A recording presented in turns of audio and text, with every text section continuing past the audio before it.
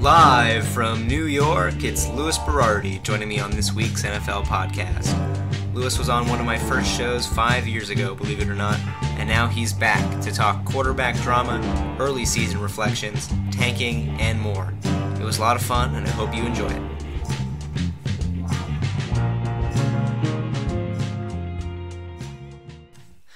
All right, Luis, so we've got a lot to talk about this week. Uh, pretty crazy. We have at least six or seven teams that will be going in to week three without the quarterback that they used to start the season in week one due to injuries uh, and a couple quarterbacks getting benched. It's crazy. But obviously, the top two, Ben Roethlisberger and Drew Brees, uh, with the Steelers and the Saints, respectively. Big Ben out for the entire season. Drew Brees out for, we think, about six weeks, so get him back in the middle of the year.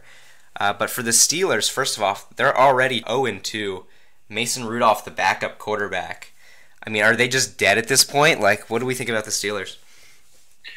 Well, I uh, I wouldn't think they uh, they would be trying to go for anything this year, but they just traded a first round pick away for uh, safety. So who knows? Maybe they have a, a lot of faith in Mason Rudolph and they think their division is easier than it looks. I mean, so a to talk about their division. I mean, Baltimore obviously looks like they're killing it, but Baltimore will come back down to earth, and I think it will be one of the easier divisions in the league.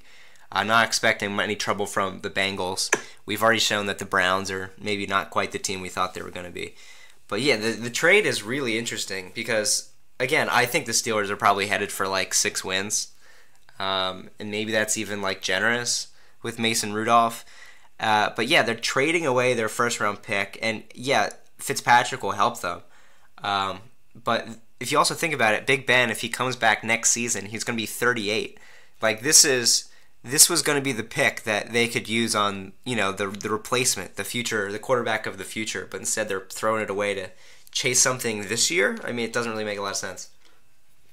I mean, uh, I, am not sure how many years uh, Fitzpatrick is under contract for, but if they don't have any faith in next year's quarterbacks, and they uh, they try to uh, do a Broncos a la 2015, where they just won with their defense and the quarterback being a game manager, it's not a terrible idea for for next year. Yeah, and Fitzpatrick is only in his second season. He was the 11th pick in 2018, so obviously you're getting a ton of value.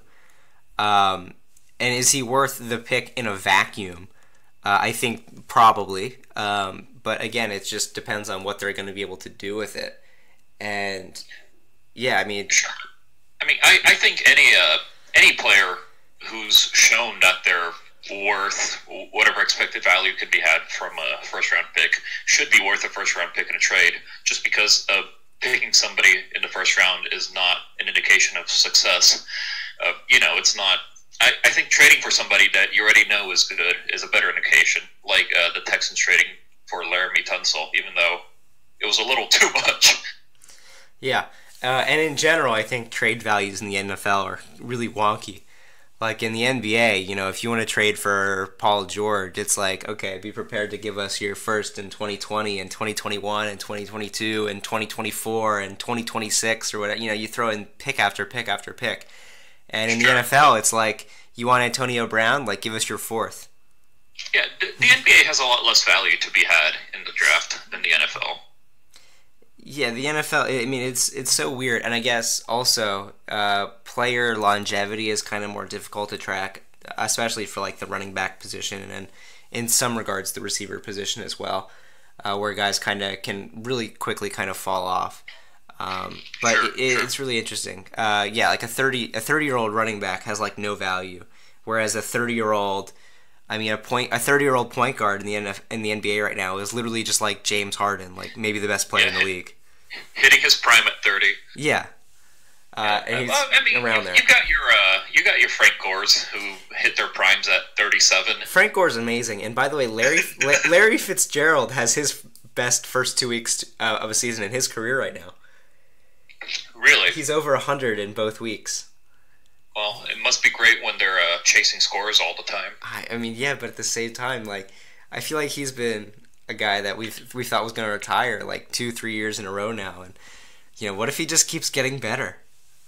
I mean, look, be... I I came into the football world in 2012, and in 2012, you told me Larry Fitzgerald was already too old. So I, I might have. Um, and I, I saw Larry Fitzgerald the first football game I ever went to. Uh, in 2004, we road trip to Arizona to see the Arizona play the Giants. And Larry Fitzgerald was a rookie, and he was making plays in that game. I think he caught the game-winning touchdown in that game. And really, yeah, that's and that's 2004, and you know he's still doing his thing.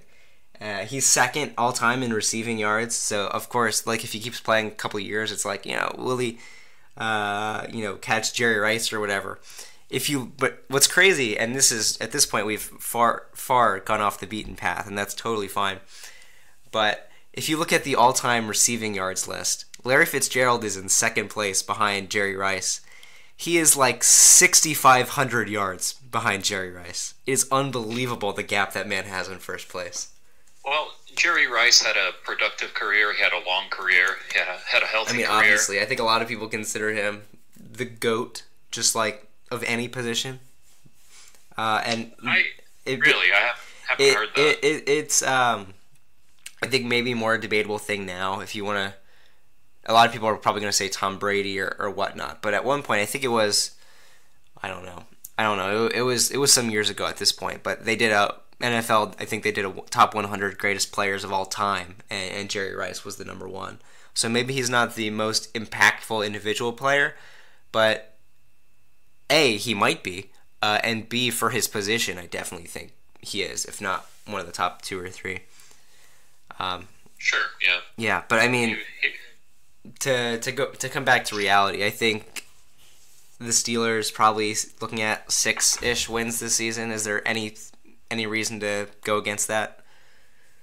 Um, I haven't really seen their schedule, but just based on their division, six or seven wins seems pretty pretty logical. Yeah, and I mean, you know, we know we know who they're playing the the two in the division, and um, they already got their game at, against the Patriots out of the way, which I guess is somewhat of a good sign if you're gonna try to find wins for them.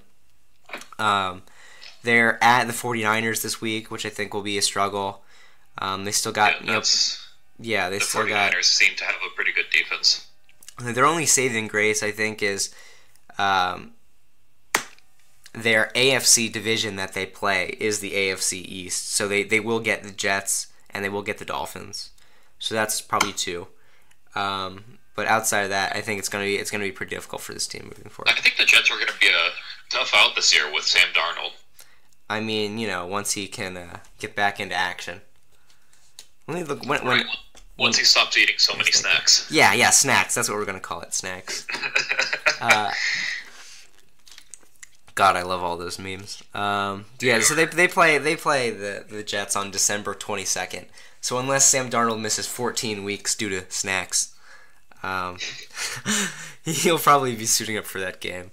Um, but for now, the the Jets quarterback is uh, Luke Falk, and Luke Falk. between Luke Falk and Gardner Minshew, uh, there are now two starting quarterbacks in the NFL that came out of Washington State, which is pretty crazy. Turning into Mike Leach over there, turning it, uh, turning them into the new quarterback university.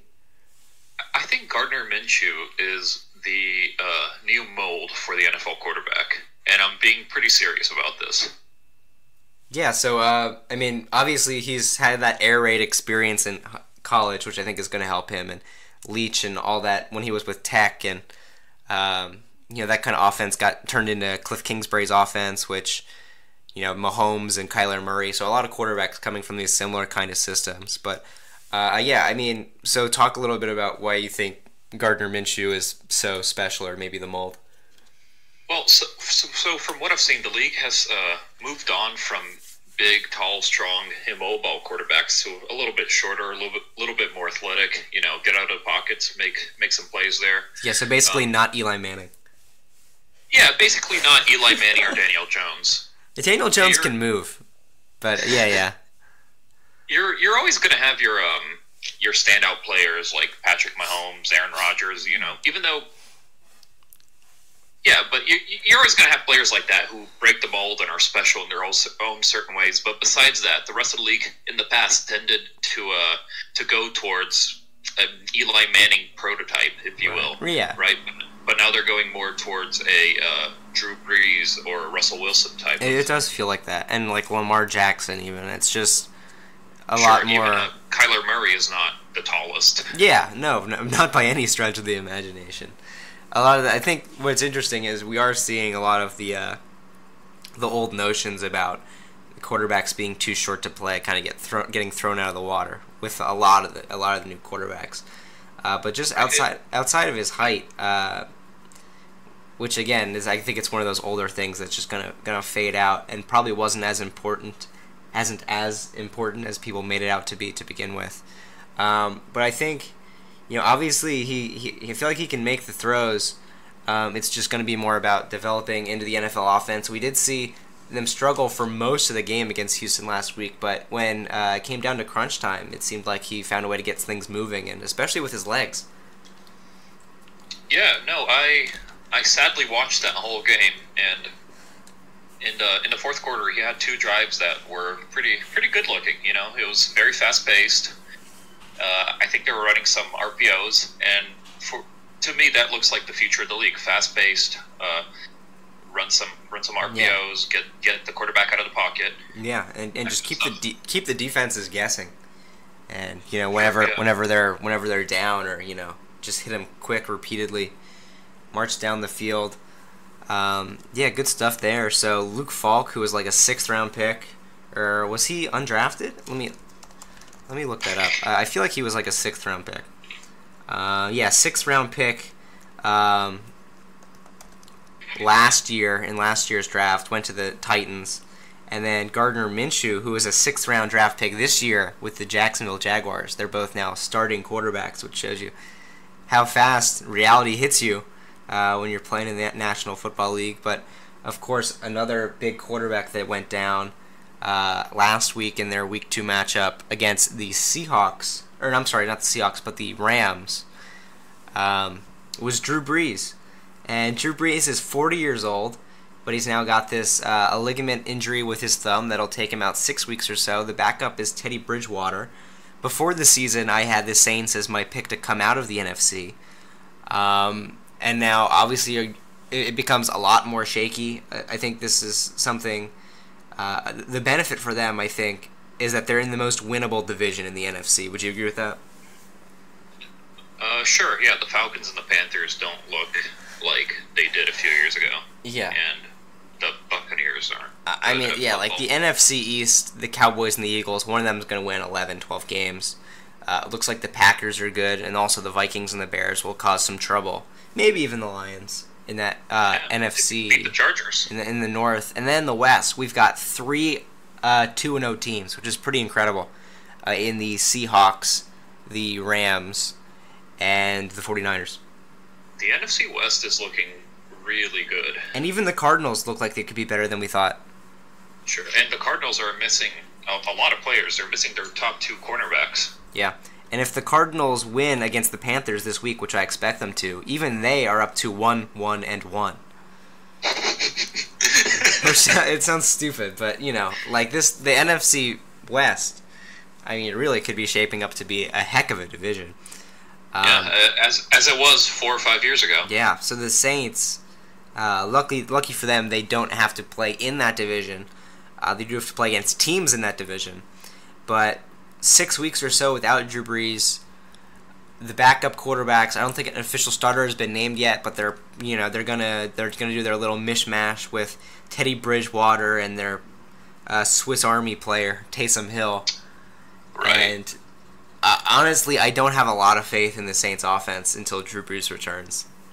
Well, here is my thinking. I don't think the Saints are going to be significantly worse without Drew Brees.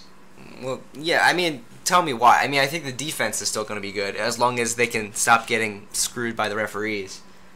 Um, So, Drew Brees doesn't throw deep anymore. Their offense uh, has been very much a short passing, quick West Coast offense, if you will. mhm.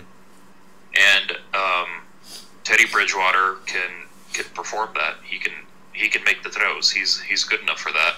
And especially with the coaching of Sean Payton, who coaches really well, who pl- calls plays really well, and prepares for games really well.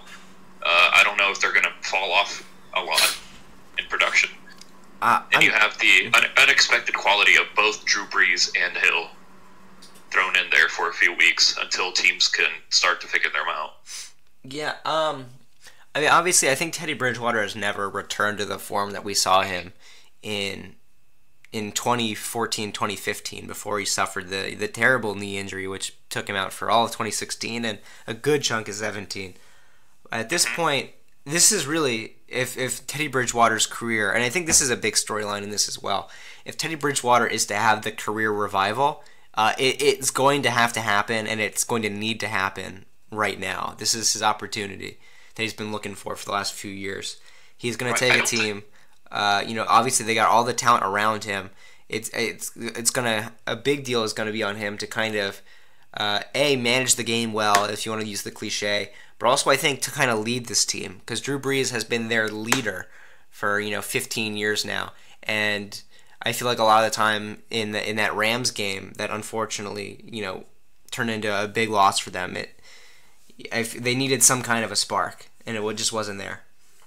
I, I don't think Bridgewater was brought in to be the backup. I think he was brought in to be the bridge quarterback in between uh, Drew Brees retiring and them possibly finding a new franchise quarterback. So I think it's a, sort of a step above backup, you know? Because if I'm Teddy Bridgewater, I, I I've started in the NFL. I wouldn't go to a team if they just told me I was going to back up a Hall of Fame quarterback. I, I think that was kind of his only option though, uh, because well, well, so what happened is he he he, uh, the Vikings I guess re- uh, released him or maybe traded him to the Jets uh, because by that point when he came back they already had Kirk Cousins. Uh, and then the Jets ended up trading him to the Saints. So maybe the Saints did see him as the replacement for Drew Brees. They probably did. Uh, but also, it's just a big risk with him coming off, you know, the injuries with his history. Um, so I'm not, again, I'm not, I'm not super high on him. I, I would love to see him return to, you know, he even made the Pro Bowl in 2015, which was his last kind of full season as a starter, and only his second season in the league. By the way, he's still only like 27 now, so he's got the Yeah, time I- to do it. But it's again, there's just a lot of question marks for me. I'd, I'd be hard pressed to put the Saints anywhere below nine and seven. Yeah, I don't think they go. I- I'm still taking them to win the division and to make the playoffs, but that's they're really going to have to right the ship because they can't turn it over, back over to Drew Brees at like two and six per se. And I, I worry a little bit because I see their upcoming schedule. Uh, the next two games are against the Sa- Seahawks and the Cowboys, and I think those are basically going to be losses. So then we're down to one and three. Get the, I don't think the Seahawks are very good this year. I don't think it matters. I think in that first game of the transition, it's going to be difficult, and I do think the Seahawks are going to be able to pull that one out. Um, so if you think the Saints are going to win, I guess we can we can differ there. Uh, then they do Yeah. get they do get a bit of an easy stretch after that. Uh, they get the Bucks, the Jaguars, the Bears, which will probably be tricky, especially on the road, uh, and the Cardinals. But I, I think they need to keep themselves at least four and four uh, by the end of that stretch, and hopefully Drew Brees returns for a big.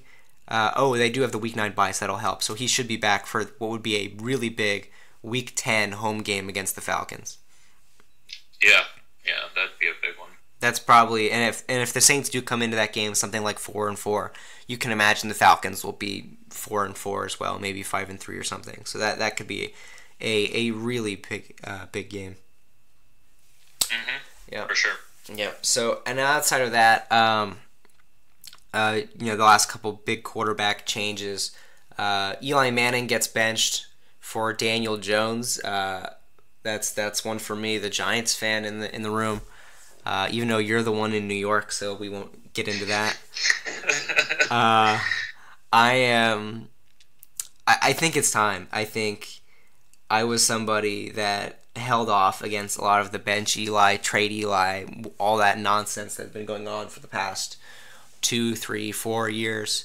Um, because I didn't think the Giants had a future at quarterback yet. I was not sold on the Davis Webb or the Kyle Lauletta or the any of the the Geno Smith. Like I mean, you you benched Eli, but you benched Eli that one game for Geno Smith. Like you thought that was going to be the solution to your problems.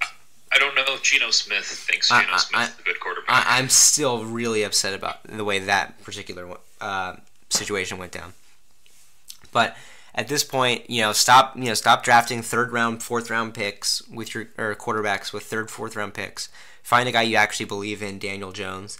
And the Giants aren't going to make the playoffs this year, and we knew that going into the year. So if that's the case, then just give the guy the reps that he needs. So I was kind of advocating for Daniel Jones to start from the get go. Um, but at this point, uh, they said they were going to start Eli until you know they were out of playoff contention. But after the first two games, I think hard to imagine them finding their way back into playoff contention. So totally cool it, with totally cool with giving the ball to Daniel. Pretty difficult division. Yeah. Even Washington isn't. I mean, we don't we don't think know? Washington. Well, we don't think Washington will do much, but I mean, just having the Cowboys and the Eagles. Uh, that's two. That's two teams that have that legitimately think they are going to make the Super Bowl and win the Super Bowl this season. Right. So, I know this is a radical notion, but for me, if I'm managing a team, my end goal is to win the Super Bowl. Right. This seems to be a very radical notion in the NFL because everybody goes for mediocrity. Yeah. And so um, I I think the Giants should have started um, Jones from the offset as well, just just because of that. If they're not going to make the Super Bowl with Eli, it's time to move on from from Eli. That's just the end of it. Yeah, and, and we can have the Eli is Eli a Hall of Fame debate, which a Hall of Famer debate, which everyone is talking about to the point that I almost don't even want to talk about it. I think in general, Eli has been a pretty average quarterback for most of his career, but I think the two Super Bowls and the longevity and just the volume of statistics will probably get him in. Um, but I, I obviously I think I think you know this is this is the time for him to pass the torch. Sure, um, absolutely. Yeah. Outside He's of that, brother. Yeah, yeah. Outside of that, Josh Rosen comes in to replace Ryan Fitzpatrick for the Dolphins. Will it change much? No, no, it won't. Josh Rosen has looked pretty terrible in the like what four drives he's had in the yeah, Dolphins. Yeah, he's thrown a couple picks. Uh, obviously, he didn't do great with the Cardinals after being taken by them last year because they ended up with the number one overall pick and they picked his replacement. Uh, clearly, Arizona had not the highest expectations for Josh Rosen. You gotta um, feel bad for the man, though. He's stuck in the worst team in the league for two years in a row. Oh yeah, oh yeah, for sure. Uh, and then Cam Newton also question mark for uh, for week three with a lingering foot injury. But at this point, Cam Newton d- just doesn't even look remotely the same player that he was earlier in his career, even a year or two ago. So do you think it's injuries? Uh, I think it's a I think it's a combination of injuries. Uh, yeah, a lot of the hits he's taken.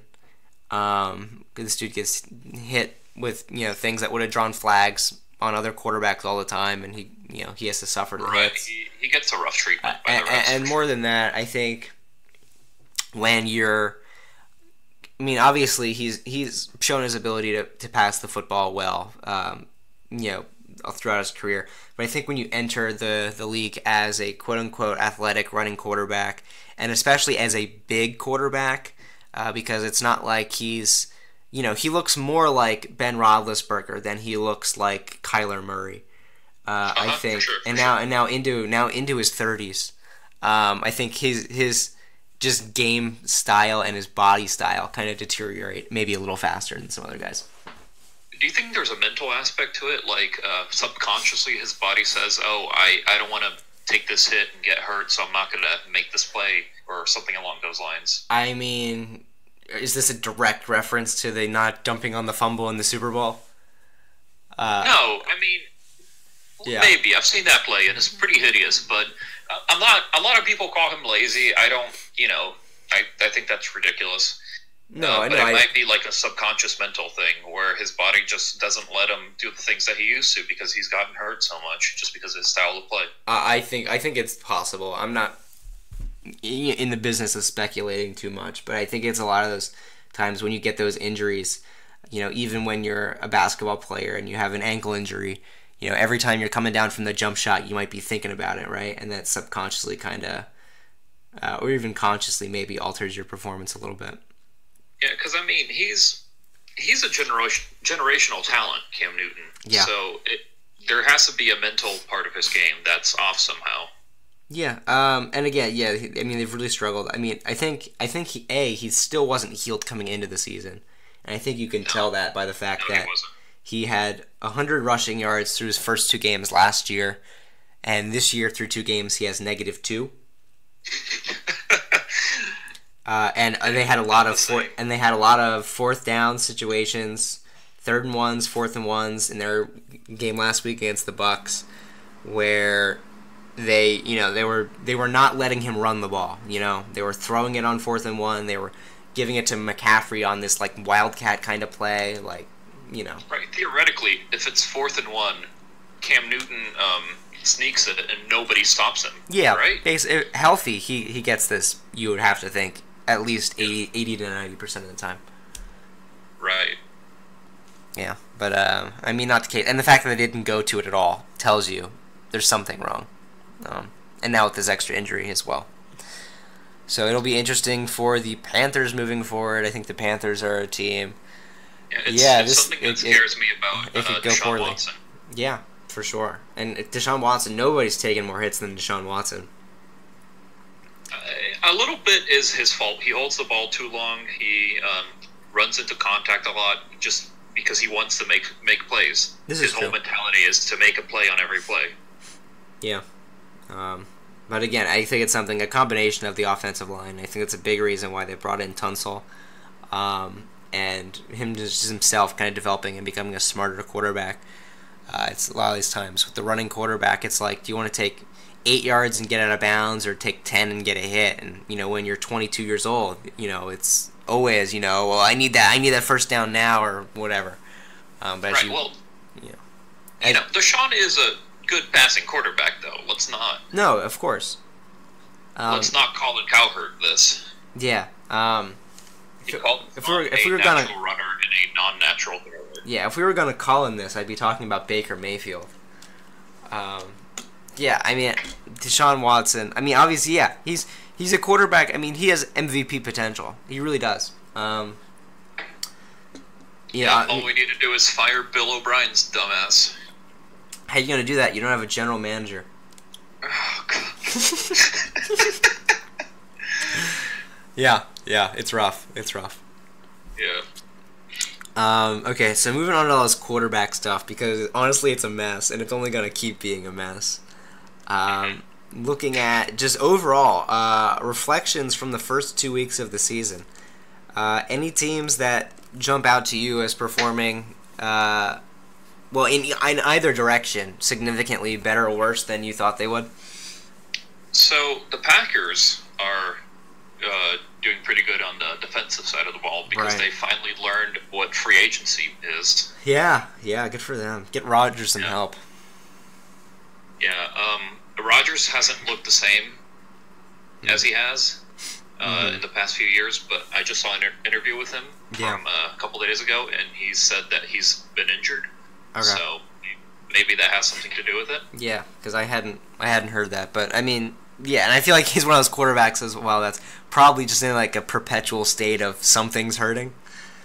Um, Yeah, for sure, for sure. Yeah. Um, and I think, again, what I've said, what I wrote up in my write up for my power rankings is I think I have the I have the Packers up to I had them at number six this week, um, and I said, you know, if if the concern about the Packers is the offense, they're in good shape. Yeah, for sure. Because at, at any point, Aaron Rodgers can make some magic. Uh, yeah, abs- ab- absolutely. Every year. Absolutely. And then kind of staying in that division, I think on the flip side of it, the Chicago Bears look not not good. Um, they went what thir- 13 games maybe they won last year, 12 or 13. Um, It was, it was always going to be a defensive team. yeah, and yeah, and but at the same point, you can't win with just defense. So you're going to need to step up from the offense. You, they were going to need a transitional year from Mitch Trubisky, turning into just kind of this like average or you know borderline replacement quarterback to a Pro Bowl level quarterback if they're going to win the Super Bowl. Uh, I do, I, I believe, kind of, I believe that. Um, and then week the one, Bears have, have won a Super Bowl with a bad quarterback before. They've made it to a, another Super Bowl with a very bad quarterback before. Yeah, Rex Grossman. Um, but you know, I mean, still, I think it's a different league, right? If you're going up against, it doesn't matter how good your defense is. If the quarterbacks in the Super Bowl are Patrick Mahomes and Mitchell Trubisky, the Bears aren't going to win. Um, and so they had a chance to bounce back against the Broncos. Really, I mean, they threw the game, but they got lucky enough to um, get a chance with 20 seconds left, and they get a roughing the passer penalty. And Mitch Trubisky does make one great play to set them up in field goal range with one second left on the clock, and then they their kicker actually made a field goal. So that's that's earth shattering news. Yeah, that's very good for Chicago. Yeah. First uh, Bears kicker making a field goal since Halas was the head coach, I think. Yeah, I think it has been about 70 years. no. Um, but uh, yeah, so good for them to actually get the win. But outside of that, I, I think this team has really struggled, and I don't have near the um, near the expectations for them as I did uh, entering the season. Uh, I think they've really struggled. Um, I mean, I can talk as much as I can about how disappointed I am in my Giants. And obviously, the Steelers are struggling, but part of that is they've played the Patriots and the Seahawks, and they don't have Big Ben. Um, I think the Bill, yeah. The, the Bears are going to be a tough out every week, just because their defense is so good. Right. They're, you know, they're going to be a nine and seven, 10 and six kind of team, but they're going to be very difficult to play against. Yeah, especially and they're, mm-hmm. weather starts getting cold, Chicago starts getting rowdy. Yeah, and I think they're a, a, type of team that even in the games where they look outmatched, you know, they could get crushed for four quarters, and the final score would only be like sixteen to seven, right? So it mm-hmm. doesn't even it yeah. doesn't even look that terrible. So they're like a deceptively good team, or does that mean they're a deceptively bad team? I don't I don't really know. Um, but uh, either one, I guess, depending yeah. on uh, where you're coming from. The beginning of the season. Yeah. Uh, let's talk about Baltimore because this sure. is the team that's came out of you know I mean I don't want to say out of nowhere because they actually did win that division last season, but I think was a team that a lot of people had behind and I had behind the Steelers and the Browns. Uh, and they come out in week one and they score 59 points on the Miami Dolphins.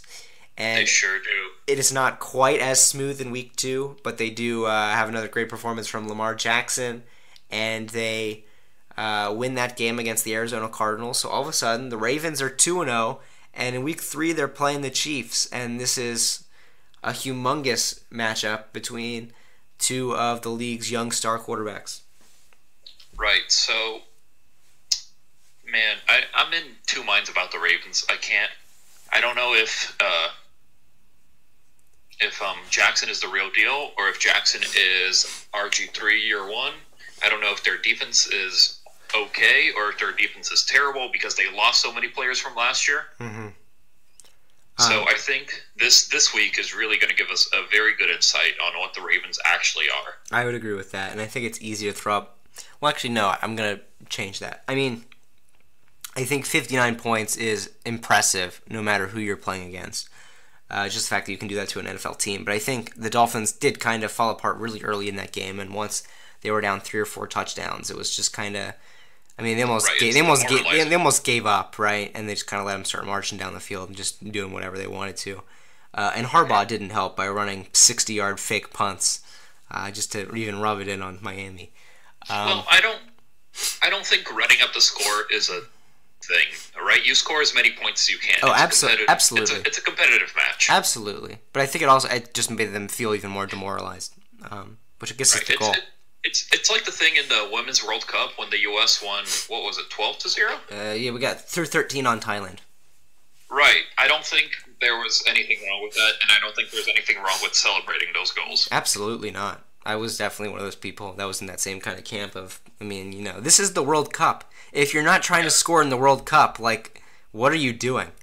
Right. The game's played for for 90 minutes. You you play for 90 minutes. It's I feel like it's more disrespectful to stop playing after 50 because you think you you know you've won already. I would agree. I would agree. Um, so yeah, moving on to the Ra- or or going back to the Ravens rather. Yeah, Lamar Jackson. I mean, he's done incredible things for these first two weeks, and I do think at some point, how many more performances can we take from this guy before he's you know, and and say, oh, it's just a fluke one week. It's just a fluke one week. You know, this is the second year of him playing really well. Um, Obviously, he's still going to have his personal issues.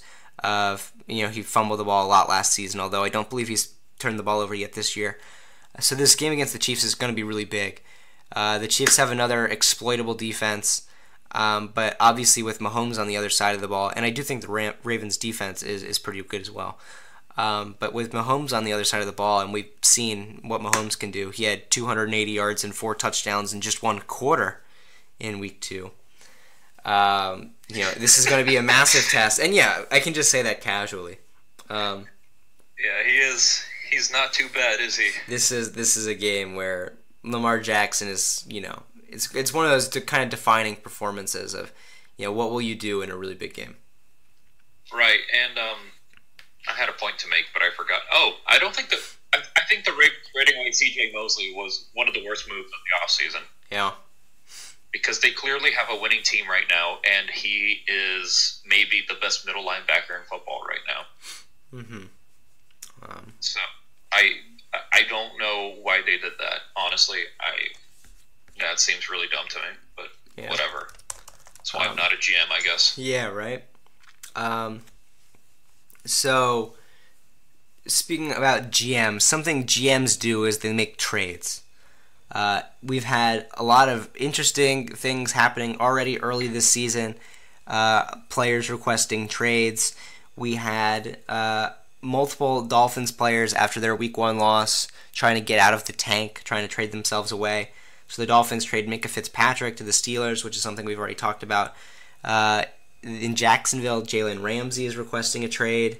Uh, in uh, Dallas, Taco Charlton requested a trade. Uh, he eventually got released and signed by Miami, so who knows if that's what he actually wanted or not, but he's out of there. Uh, Melvin Gordon is still in his uh, holdout, maybe looking for a trade there.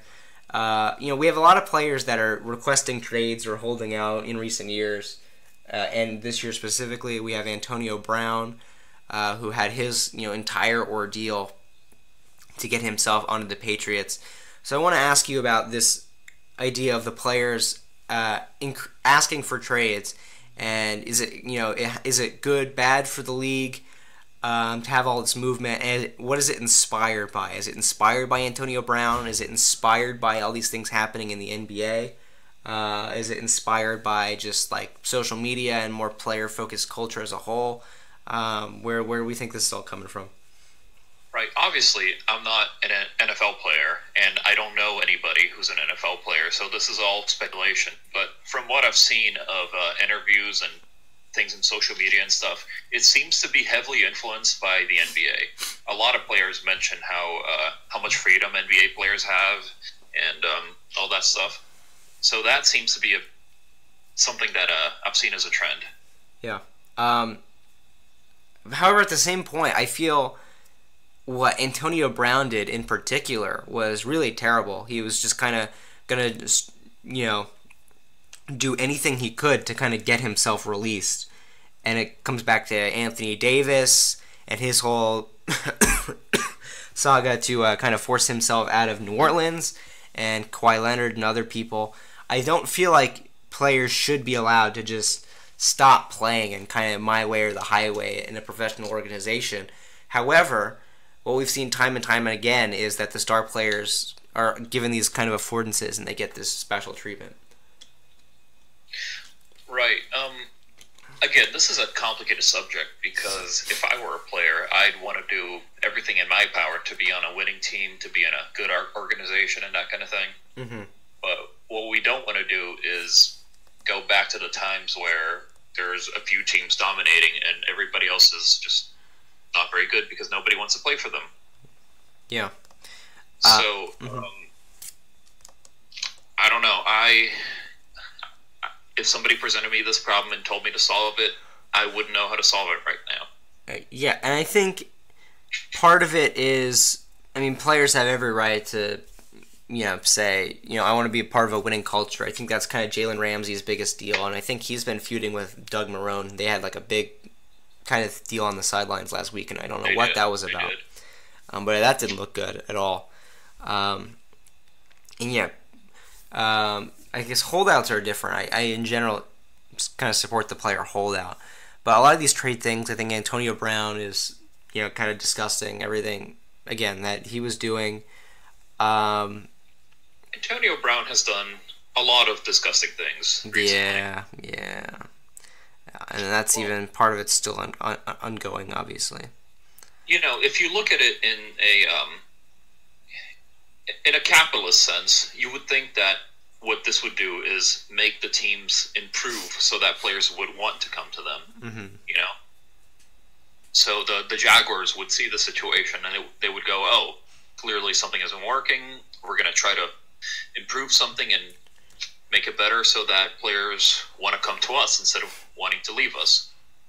Yeah. But I, I, I don't know if this is going to happen because of conservative management in the NFL and because some teams are just are always going to be more well established and better run than others. And another thing is, I think when you're coming from the Dolphins, a, lot, a reason why uh, a lot of the Dolphins players wanted to leave is because they think their team is tanking, and their team is, I mean, honestly, pretty obviously tanking. I don't think they have any intentions to really win football games this season. They just kind of want that first overall pick. And I know this is something I want to talk about because I know we have uh, different differing opinions on kind of this whole deal.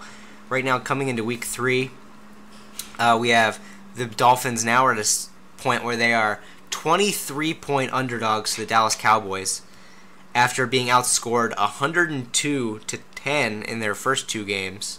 This is the second biggest spread of the last 10 years. Um, and obviously, the Patriots and Jets have another massive 20 plus point spread, but I think that one is just more due to kind of injuries uh, and the quarterback situation more than anything else. But you think that the Dolphins are doing the right thing by tanking and basically throwing in the towel from the get go. So, talk to me a little bit about that. Sure. Well, let me ask you a question, Connor. Yep. If, if you'll allow me. Yep. Who won the Super Bowl in 1985? Uh, that would be the Bears.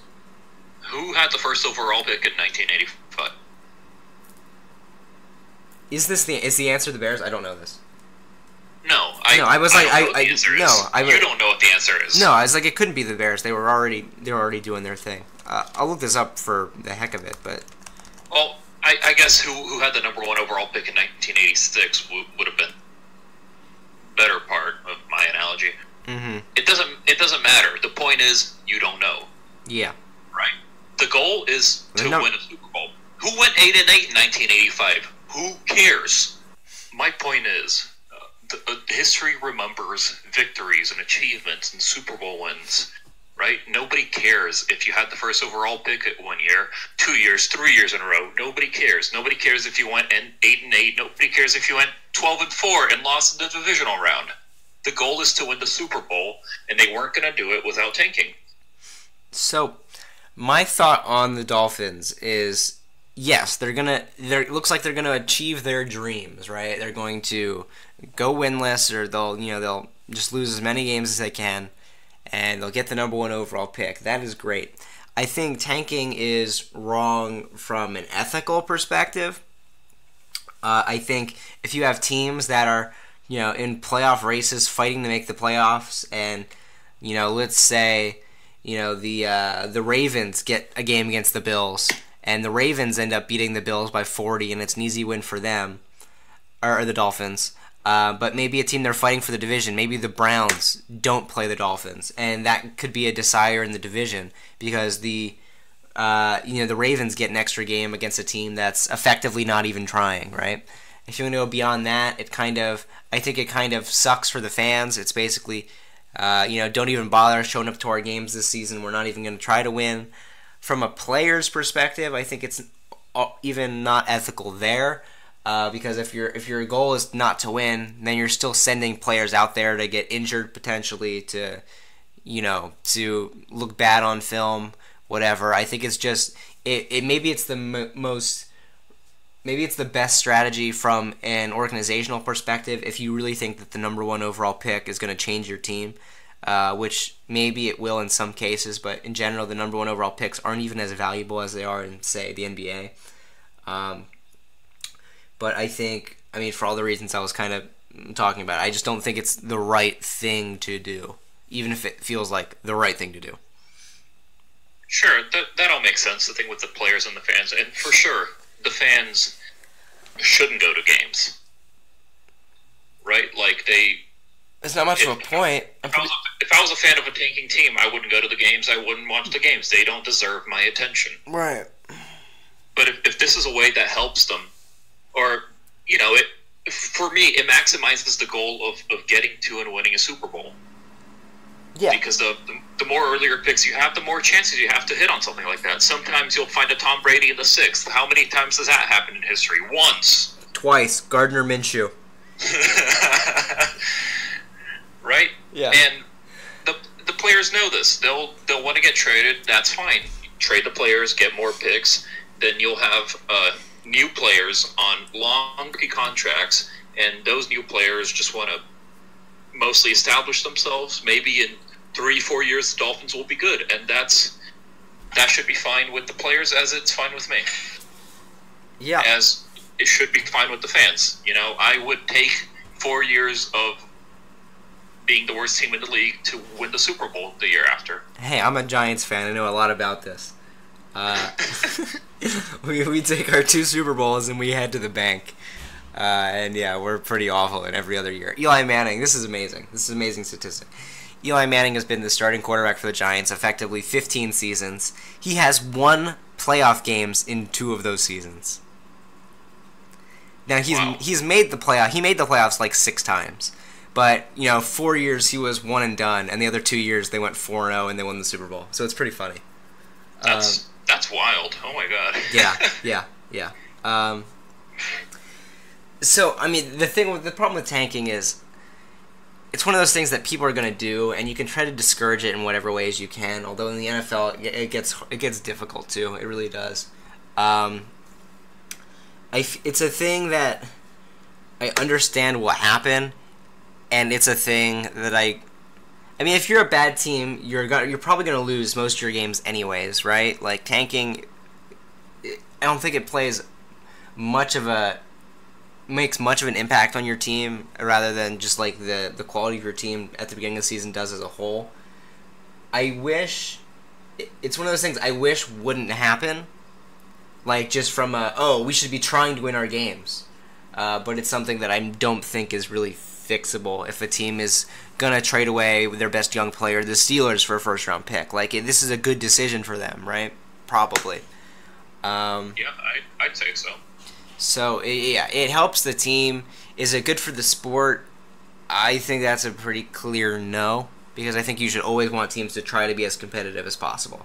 I think that's kind of more than anything else. I think that's kind of the major complaint. Is just like a, you know, if we're not trying to win games in sports, you know, what are we even trying to do? And you're gonna come back at me and say win championships, which makes sense. But I think the argument, I think you get you you get what the argument is coming from.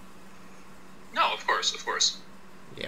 And you know, this is this is new to I'm new to uh, American sports where the draft happens, so I'm still getting used to that. Yeah, you're still getting. Well, you're probably wondering. I thought the best team. American sports is so much like other sports. I mean, the Patriots just win every year. I don't know what they're talking about draft and competitive balance. No, it's just the Patriots. Yeah, yeah. Um, but in theory, in theory, we're supposed to embrace parity, and we're supposed to have cyclical winning cycles. You know. Um, but I don't know. I mean, Sure, I mean, but if you look at Lions. yeah, yeah, and, and like look at a team like the Astros that were terrible for forever, and now they've they've built themselves into a dynasty. So Right, Um, and and the the Giants of, of baseball, the baseball Giants Right. were great for a long Right. time, and now they're terrible. But here's my thing. If you want to extend this out even further, at the beginning of this I guess this this NBA season is not the best example to use, right? Because this year we actually have like we think there could be 6 or 7 teams coming out of the west, probably 3 or 4 teams coming out of the east. There's a lot of teams in play. Uh, but say you were going to go last season, right? At the beginning of the year, how many teams had a legitimate chance? Let's say a you know greater than like one or two percent chance of winning the title. We've got Like three or four. we've got yeah we've got we've got the Warriors, the Rockets, um, probably the Bucks, the Cavs. and you could say well no, uh, last year, so not not the Cavs, but um, Oh, oh, okay. Yeah, yeah, yeah. So you would say the the Warriors and the Rockets, uh, and that might actually just be it out of the West. And then in the East, you, pro- you would probably say the Raptors, the Bucks, and like the Celtics, right? And the Sixers. And the and the Sixers. Okay, so we'll go with six, right? So if we think there's, and even those teams in the East, none of them were probably more than like five percent, but they were all, you know, they were all at least significant. Right. Um, if we think there were six teams that could win the title at the beginning of the season, there should have been 24 tankers. Right, There going by your going by your logic, there should have been 24 tankers. Here's here's a hint, or here's a you know kind of a obvious conclusion. If there are 24 tankers in a 30 team league, the league cannot survive. You can't survive off of like 95% of the games aren't featuring two teams trying to win, right? It just doesn't work. Okay, but what I'm saying is for teams that are like really bad, you know, like uh, the, the year before last, you wouldn't have picked the Bucks to come out of the, the East, Mhm. or I guess before last year started. Yeah. So it's teams can always uh, improve in certain ways if, if they're close that don't involve tanking. Yeah, They I'm, can get themselves like the like the Eagles. hmm They just kept uh, they they kept improving because they had a solid core down. They knew they had a franchise quarterback. They knew they had a solid defense, and they knew if they added a few pieces, that's the difference between an eight and eight team and a twelve and four team that wins the Super Bowl. But what if you're like the what if you're like the Detroit Lions? Like the Detroit Lions had a string of like seven, eight win seasons. Like they've never been bad, but if you want to retrospect, they probably should have just you know tanked it and tried to get picks because they were never really a team that we thought was going to make a deep run. And they ma- Sure, they've won maybe one they've maybe they've won maybe one playoff game with Matt Stafford. the Lions have never won a playoff game in the history of the Lions. Yeah. So the thing is, I just th- I just think if you're if teams like the Lions would be better advised to tank, then like again at some point it's a thing where like it works for maybe it's cute if like we have the the suck for luck that we had with the Colts, or if we have tank for Tua or whatever the heck's going on in Miami. It's cute if like one or two teams do it, but the problem is the strategy works. I mean, it benefits I think the majority of teams to do it, and in that sense, if a majority of teams ever did, it would. I mean, it would be the end of like the sport as we know it. Like n- there would just be no point in caring because the product would just be awful. Right, but I mean, just just from a competitive standpoint of you hire, you hire at least semi-competent coaches, and your players are at least pretty good. There's there's always only going to be one, maybe two teams that could be in a position to tank. Mm-hmm. Right? You say tanking as if it's something that's embraced uh, organizationally, right? But it's it's not really. The the Dolphins players are going out there and trying to make plays if if for nothing else for the sake of their own careers. Right. So it's it, it's not something that you can just impose on a team. It's difficult to tank. Yeah, I think it's I think it's a good point that you make. And obviously the players themselves are playing for their careers, right? In the NBA it was kind of easy. They had the Lakers one season. They had, you know, by the end of the year, basically all their older players, they were, you know, quote unquote resting for like the rest of the season, right? In the NFL, the NFL doesn't work like that because the NFL is much more cutthroat. Um, but yeah, uh, tanking. Well, obviously the Dolphins are doing it. Whether that's good or not, I mean, the choice is yours. But I think it's kind of bad for the sport. Although it's kind of funny in a sense of how badly will they lose this week. Uh, speaking of how badly will they lose this week, taking a look at their line, and we're gonna finish up by talking about some of the more intriguing matchups in Week Three. Uh, You're quickly, so good at segues. yeah. Uh, thank you for the compliment. Fantastic ones. Thank you, thank you. Comes with the practice. Um, we have that was a terrible segue. Uh, thanks for ruining the segue by talking about the segue. Uh, we have we have the Dolphins. They're they're twenty three point underdogs against Dallas. Like, what even is that? Like, is this is are they coming? Are, are the Cowboys hosting the Miami Dolphins or the Miami Hurricanes? Like, what even is this? Um, 20, 24 point underdogs? 20 23, 23. So Well, they were 28 point underdogs last week against the Patriots. They are. Like. It was. I think it was like 20, 21. Um, I don't know, but this is this is the biggest. This is this this is the biggest spread since 2013. Um, Oh, really? yeah, yeah. Se- second biggest spread of the decade. So, I mean, what are you thinking? 23 points? You like the Dolphins there? Uh, no. Yeah. No, I don't. Yeah. Uh, in my prediction, I had them losing by 21, so I guess I'm technically taking the Dolphins. But at some point, I mean, what happens if they lose this game by like 40, right? Let's go to the Dolphins. Uh, let me pull up the Dolphins' schedule. Because at some point, we're going to have to make some bizarre decisions, right? What happens when they play the Patriots again later in the season? They, their last game of the season is at New England, right? hmm What happens if the Dolphins are 0 15 and the Patriots are playing for a first round bye?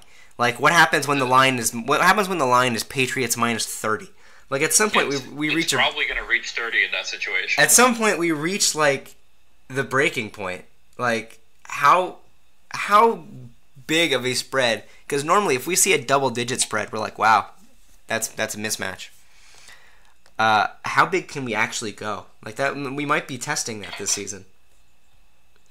Well, uh, I guess we'll we'll see, but I, I don't think the Dolphins' defense is the worst in the league, if that means anything. I mean, they've allowed 102 points, but continue. Right, but uh, I, I watched uh, at least half of both of their games. Just I don't know why, but um, Yeah. I guess I had I had uh, I had fantasy football players in both games. Yeah, yeah. um, a, a lot of a lot of the damage was done by the offense being the worst offense I've ever seen, and I watched the Texans play. I mean, it was terrible. Yeah.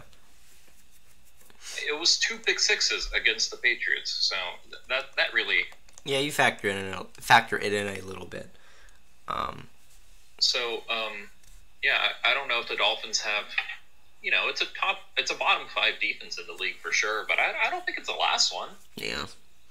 Um, so we've got that matchup. Uh, we've got, you know, what what are some of these other matchups that are kind of striking you in week three as kind of being interesting?